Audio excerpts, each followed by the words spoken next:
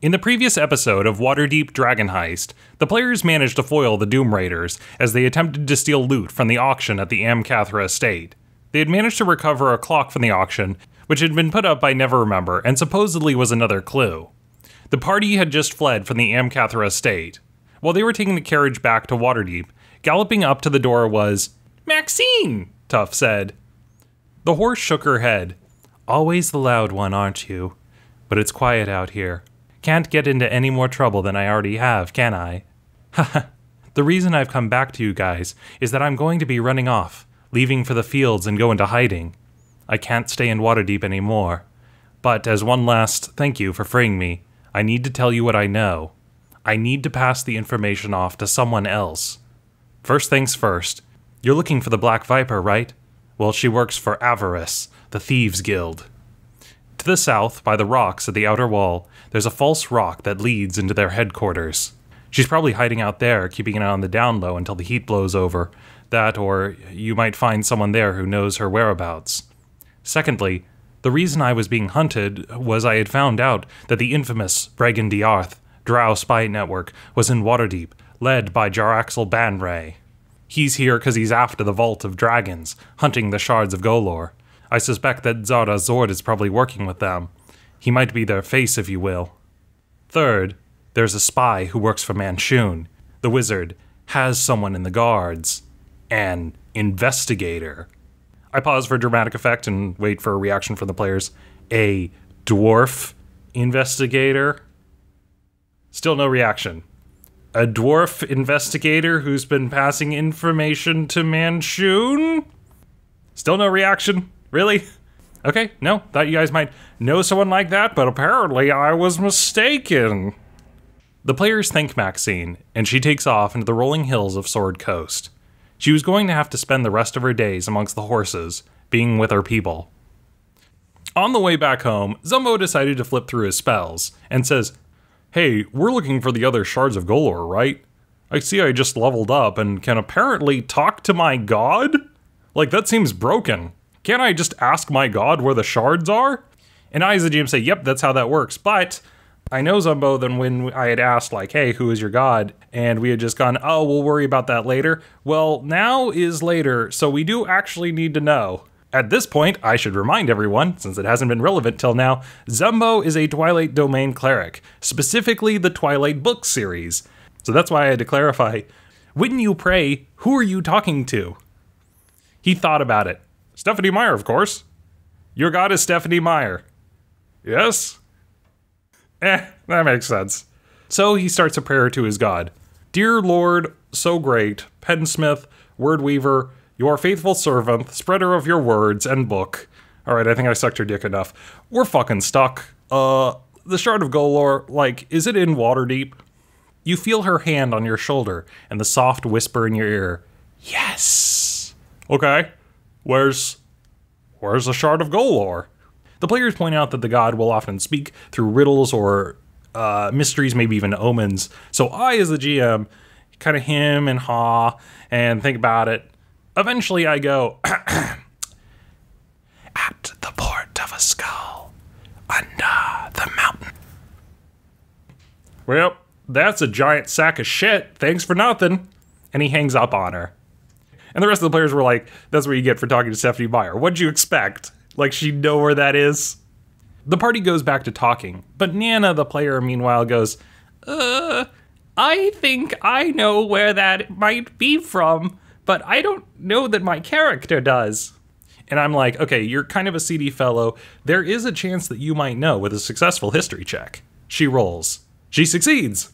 Okay, uh, you can tell the others if you want. Nana explains, I think your god might be telling us to go to Skullport in Undermountain, because it said under the mountain at the port of a skull. Zumbo was like, Are you kidding me? It can't be there. No, I'm, I'm pretty sure it is. Like, where else could it be pointing? Zumbo was incredulous. That's just way too on the nose. The thing is supposed to be cryptic, not rearranging some words and calling it a riddle. Okay, well, I'm sorry if it wasn't too clever for you. Oh, what now? It's not good enough for you. Uh, high standards. The players actually didn't think it was at Skullport because, air quotes, Too obvious. Let's see you guys come up with a cryptic clue, huh? On the spot, all right? Blah, blah, blah. No respect, I tell you. No respect, to these players. Derp derp, look at me. I'm a player. I can't remember to level up my character before the session. The party made it back to their home, discussing what to do. Val brought up, oh, what do you guys think we should do about the G H O S T? As he said that, the table started to move on its own, and he had to put his hand on it to keep it down. Most of the party doesn't know how to spell, so they don't get it. Tuff said, What do you mean, donuts? I love donuts. We eat them, of course. Wren agreed. We should make some up right away. No, no, no, he clarified. I'm talking about the ghost. The entire house lurched back and forth, shuddering when he said that. The players decided to do a seance, casting a magic circle to pull the ghost in so they could either kill or question it. They turned down the lights, made a ring of candles, and started chanting, forming the ritual. As they're chanting, the flames started to grow and specters form and they fight them. The house appeared to be trying to stop them from completing the ritual, but they managed to fend them off and finish the seance. Once it was done, two spirits appeared, floating in the magic circle. Val was like, Ugh! backing away into a corner. Nana asked, Excuse me, Mr. Ghost, we're wondering why you're haunting our house? My house. Tuff explained, But we, we bought the house. Doesn't doesn't he know that? Wren asked, Let's start simple. What's your name? Live. They asked, Okay, uh, Live. How did you die? Murder. hunted. Ruff, ruff. Next to him was the dog who piped up. There was a hunter in the night. Uh, who was it? They see a dark silhouette form in front of them. An orc with a bow and black arrows. As he floats in the air, turning, the players notice that he has a drool of blood down his neck and his throat like he was slashed. On his back, they see arrows protruding. With that, uh, the seance was over. They got the information they needed. The candles blew out. The two ghosts vanished, and it returned to normal. The players talked about it afterwards. Do we know anyone who is like that? An orc who uses arrows? No, I don't think we do. We might have to get some info before we can do anything. Uh, so the players never followed up on this mystery. Uh, we had a lot of other subplots going on, so I can just let you know what was the deal. In the Doom Raiders group that they had met the previous session, there's a guy who's an assassin. He's an orc who fires black arrows. Uh, currently, the players have a neighbor, uh, one who is trying to start a competing tavern, and in the book, he's just supposed to be kind of a friendly rivalry. In this version, I had him kill the previous owner, hiring an assassin to take him out. So, one of the ways that the players uh, could get rid of the ghost was to avenge him, and that could be done in multiple different ways. One was just to out the neighbor for killing him and kind of bring him to justice, or to kill the assassin that took him out. However, the players already had a lot on their plate at the time, so they didn't have enough time to finish it. So that mystery never got solved. The house is just perpetually haunted. The next day, the players asked around at their neighbors. Apparently, the rumors about Lif were that he had just up and vanished. There were stories that he had originally come out here to Waterdeep to open a tavern, but had moved away then it failed. That morning, I let Val know, ah, you're not feeling very well. Like your hit point maximum has actually gone down. Ugh, why? Something odd happened. The normal, smoldering fire roared back to life. The flames singed the stonework above, making black, ashen lines. Amongst the flames, a face appeared they would recognize Victorio Cassalanter's face anywhere. You thought you could deceive me, he said. He holds up the fake rock that they had given him yesterday. From fighting them before, the players had discovered that the banking family were warlocks that worshipped Asmodeus. I don't know what you're talking about, the players pretended to play dumb. What? What are you talking about? Oh my god, that was a fake. That's so crazy. Victorio pointed out, You still bear the mark. Val looked down at his arm. The markings remained. That is a receipt, if you will, from your contract. You still owe me a shard of Golorr for his freedom. No, no, we're not having it. You can't be thinking about just yourselves now, Victorio explained. You're not the only one who is bound by a contract. We were forced to give our children to Asmodeus. The only way to save them is we need to find the Vault of Dragons, claim the wealth that is there, and use the money to buy their freedom. We have one of the shards, but we need the other three. Surely you can find it in your hearts to help us save our children. The players were like, oh no, don't give me these crocodile cheers. You almost dropped his ass into hell. Very well, I tried to be nice. If you don't return the shard, in a few days, you'll be begging for me to take it. After all, I think you'll find that the deal has some very tight strings attached. the fire died down, returning to its old state. The home was filled with a rolling, thick, black smoke. One last fuck you from Cassalanter. The players had to open up the windows to air out the house. As he left, Val noticed that his feet felt odd. His skin got smoother. Rolls of fat started dripping down him. His legs started to change. His lower half fused together, making him become more slug like. Ah, ah! He cried out. Aww, Tuff said. You're becoming a super cute slug person. But I don't want to be a slug. Tuff gently patted his shoulder. Well, maybe you'll learn to like it. The group discussed what to do, and they decide we really need to deal with the Cassalanters. Like everything else can take us back burner. We need to deal with this. also, by the way, they just dropped that they have one of the shards. We need to go get it.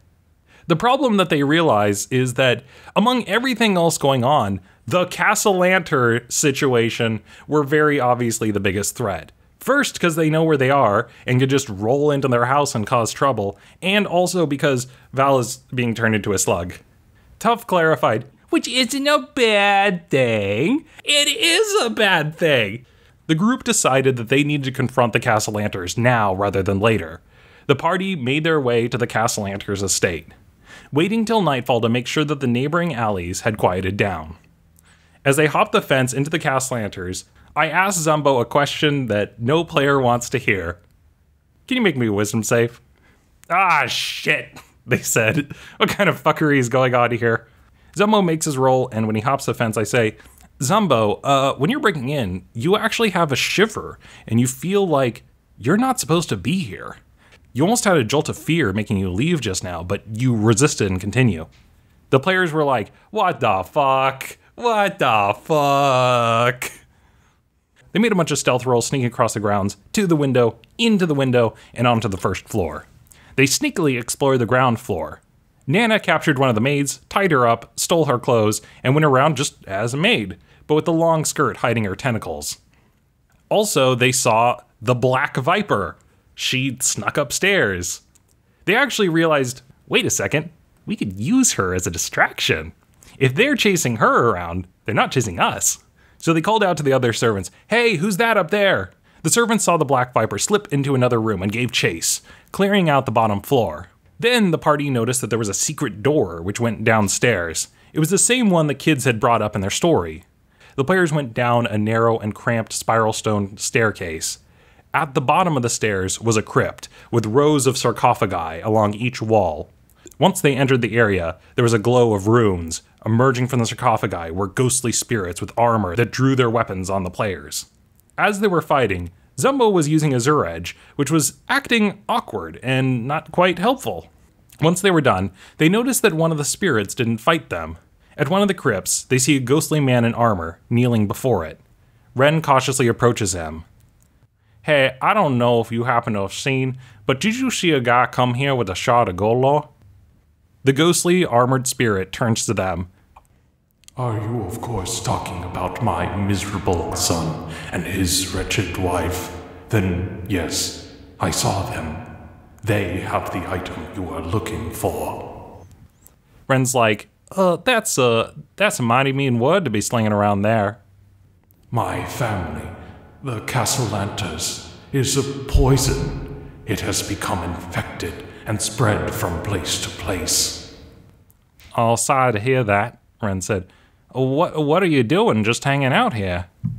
Reflecting. Why are you not like the others? Why didn't you try to attack us? My son, for all his faults, still has a monicum of respect for his family, but the others, he has corrupted them and turned them. Who were they? My comrades in arms, servants of the Cassalanter family that have been twisted by the powers of Asmodeus and used for his dark purposes. He looked to Wren. Do you oppose the forces of evil and push against the darkness? Uh, well, I'm just trying to help people where I can, if you know what I'm saying. Then that is enough.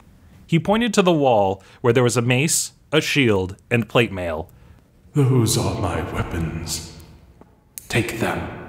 The poison that has become my family must be stopped. Their pain must end. As he says that, he vanishes. They take a second to identify the items. It's a plus one plate mail, a shield of fire resistance, giving everyone in a five foot radius fire resistance, and a mace of disruption. Uh, the mace does extra damage against fiends and undead, and when it hits a fiend or undead, the target makes a save or is instantly destroyed. Oh shit, Wren said, equipping all the items. Oh, it's on now.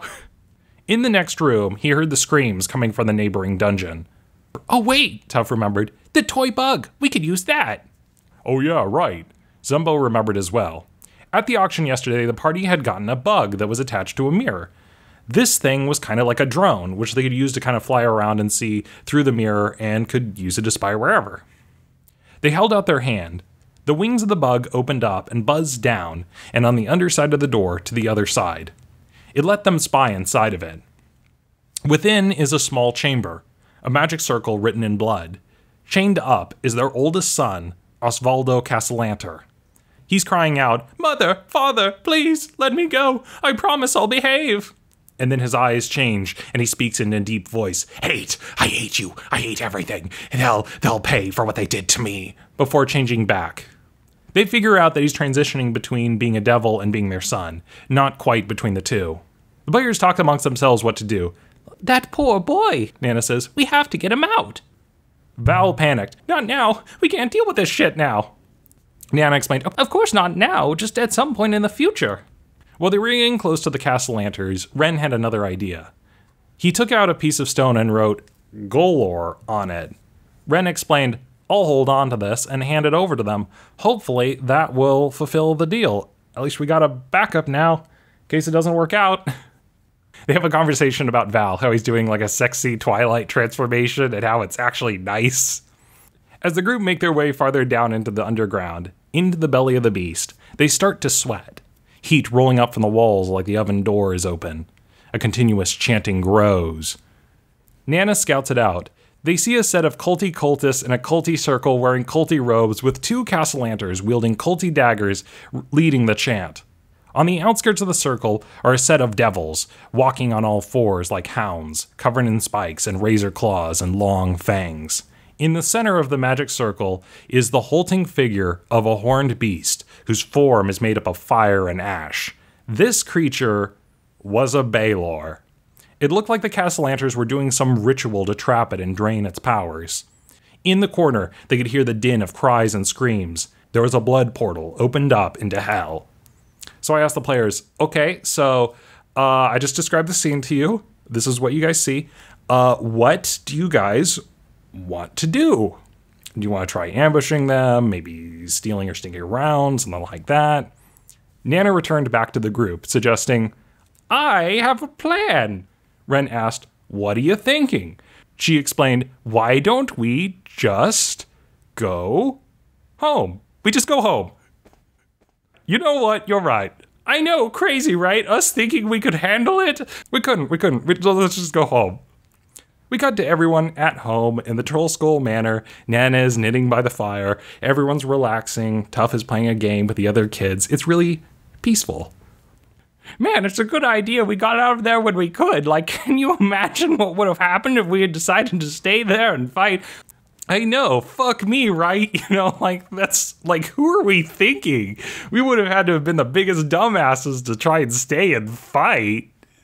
Everyone lets out a hearty laugh. Then they look over to Val, who's still slowly turning into a slug. You guys, what about me? All right, fine. I guess we do have to save Val. So the players went back to the manor, climbed the fence, broke back in, snuck around, got into the crypt again, and returned back to the stairs where they were listening to the chanting. Zumbo was like, balls deep, never pull out. Wren clinks his weapon to his, balls deep.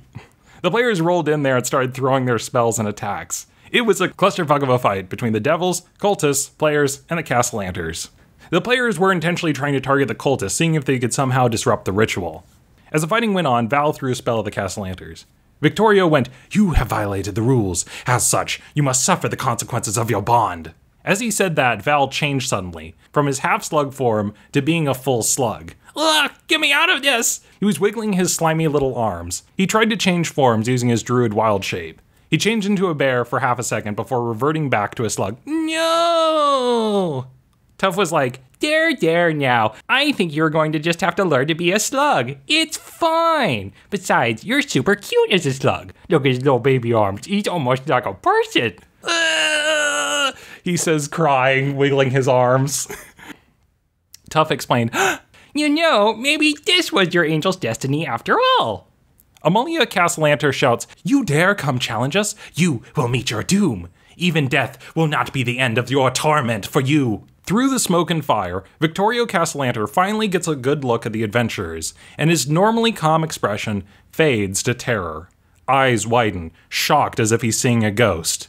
He goes, No, no, it can't be! His wife is just confused by his change. Darling, what's wrong? Why are you acting so strange? Ah, ah, ah! He starts backing away. No, you're dead. You're buried. I buried you.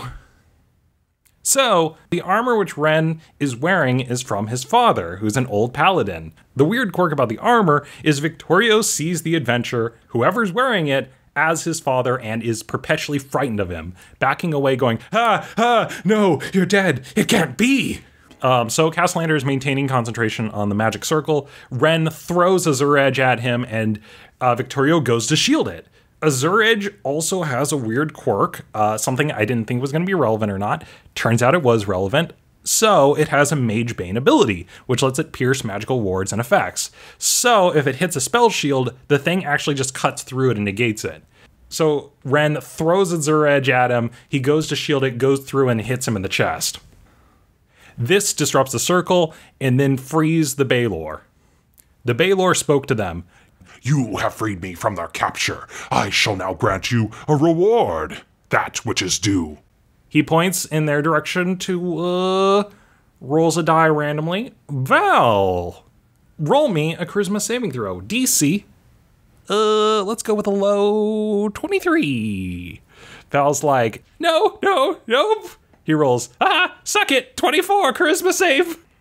There was a brand which started to appear on his body, but he manages to resist the demonic corruption, going, nope, and swatting it away. he just like flaps the magic away, which is the brand disappears. Aw, that power had some really cool effects. He's like, I don't care at all. I'm done with all this devil bullshit. Well, he technically is a demon and not a devil, so Val does not care about that. It immediately started tearing into the cultists, turning them to ash. You thought your mortal magic was capable to hold me. You were mistaken. As it attacks the nearby cultists, they fall under his attacks. The devils themselves in the chaos turn tail and run, jumping into the portal back to Avernus. Eventually, the Balor turned its attention to the two Cassalanters. It breathes fire onto Amalia, who collapses and dies under the blaze. Victorio gets snatched up by the beast and dies in an agonizing death before being immolated. As he perishes, Wren checks through the ash. Uh, do they have the Shard of Golorr on them? Nope. I let him know. Okay, well, we'll have to deal with that later. He pulls the party's shard and he goes, Okay, so also I need to return this shard to you, Wren says, placing the shard in the pile of ash. He looks back to Val. Okay, so I fulfilled the contract. Does he turn back to normal? Nope. Shit. He snatches the shard of Golorr back. The Balor immediately turns his attention to the rest of the party. Val asked, We, we, we, we, we, we, cool, right? We helped you, you helped us out. The Balor spoke. My master would feel very disappointed if I was in the mortal plane for so long and returned without fresh souls. Oh, fuck. We cut to the group, running away at full speed. The fires of the Balor hot on their heels. The demon was too large for this underground dungeon, tunneling through it on a bed of magma, blowing aside pillars and burning the rock. The party ran past the door with Osvaldo trapped inside. Tuff was like, Wait, we gotta save him! The party broke him out and left with him. He seemed out of it mentally. They escaped from the manor and out into the lawn. Around the house, there was a crowd starting to form as people noticed the roars, the rumblings, the bursts of fire. Through the chaos, the players saw the ghostly image of the paladin, Victorio's father, waving to them before vanishing. The attendants and servants fled from the house before the house caved in on itself. Emerging from the implosion was the massive Balor. The entire crowd cried out as they saw the beast with its fiery wings, wielding a molten sword in one hand and the whip in the other. The crowds cried and ran away, trying to escape from the chaos as the beast let out a roar. Across the city, there was another rumbling, as one of the walking statues rumbled to life. They hadn't moved in years, but now they were rising to deal with the Balor. The party was like, well, we'll just leave this up to them. They probably got this. The walking statue fought the Balor, throwing its punches at the beast's head. The Balor, which had to retreat, tunneling into the earth on a magma channel. Once that was done, the statue returned to its normal waiting position. The party made its way back to the Trollskull Manor. They managed to kill the two Cassalanters, but Val was still a slug. Guys, what do we do? Tuff suggested, How about you just learn to live with it? It's fine. I think you're my yo slug baby. He said, holding Val in his arms and waving a little finger at him. No, I don't want to be a slug, he said, crying. Wren sat at the bar, defeated. I don't know what else we could do. The Cassalanters are dead. How are we supposed to hand over the shard? He thought about it, and then he had an epiphany. Wait a minute. He called out, Kids, can you come down here for a second? The two Cassalanters arrived. Yes, what is it? Wren realized that if the deal was that they have to pass the stone over to the Cassalanters, this just might work. Here, take this shard. Oh, you're giving this to us? No, not really, just hold on to it. Val piped up, Nope, we're giving it to you. Please take it, it's yours. As they took the stone and said that, Val popped out of his slug form, turning back to his normal Aasimar self. They realized that in order to free him, they had to turn a shard of Golorr over to the Cassalanters. It didn't matter that the parents were dead. Aw, Tuff said, disappointed that Val returned to normal. The kids were like, Well, we, we don't want it. Fine, we'll take it back. They snatched the stone back. The group was laughing amongst themselves, and the kids seemed pretty chipper. But soon, one by one, there was a silence coming over the party as the realization of what had happened dawned on them. Wren was like, So, uh, who, who wants to tell the kids what happened? Tell us what? They asked. As they explained to the shocked children what happened to their parents, that was where that session ended.